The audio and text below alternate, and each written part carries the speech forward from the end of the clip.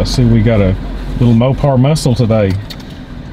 Yeah, we've got a 2012 uh, SRT 8 Super Bee Charger. Uh, kind of a no frills hot rod, modern day muscle car, if you want to call it that.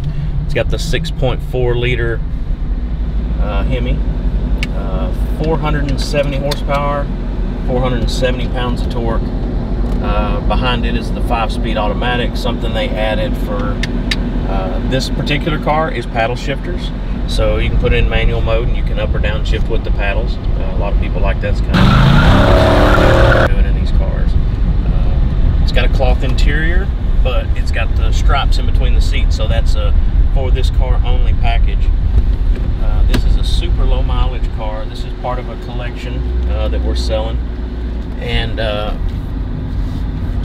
this car only has 5,400 miles on it. It is a one owner car. So a couple of really big pluses for it there. Um, hasn't been traded around 10 times and it's been adult owned.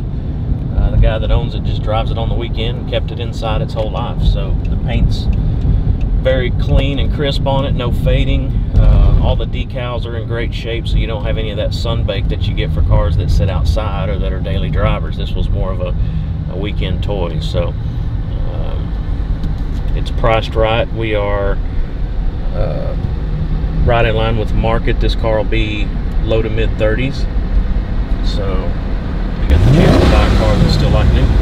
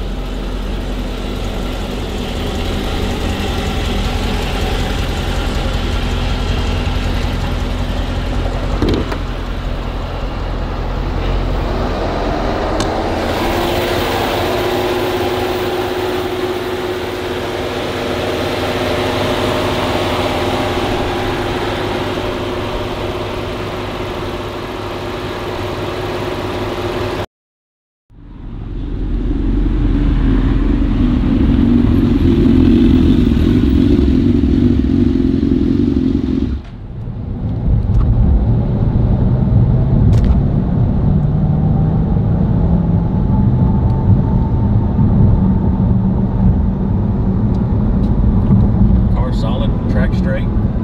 It's got a good alignment. Air conditioner blows cold. Stereo sounds good. For a heavy car in the 4,000 pound range, probably high 4,000s, this car will still run a 12.8 in the quarter mile on these street tires that it sits on.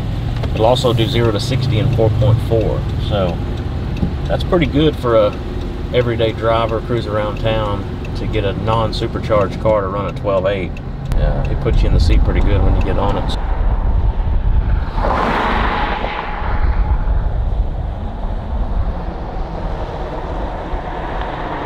So it's got the big brother to the 5.7 and the 6.1. This is the bigger cubic inch, higher horsepower uh, engine available until you get to the Hellcat level, which is a supercharged. So this is still a naturally aspirated engine. Uh, this engine in this car makes 470 horsepower and 470 foot-pounds of torque. So uh, if you're driving normal, this thing's going to get 20 plus miles a gallon, but you want to stand on it,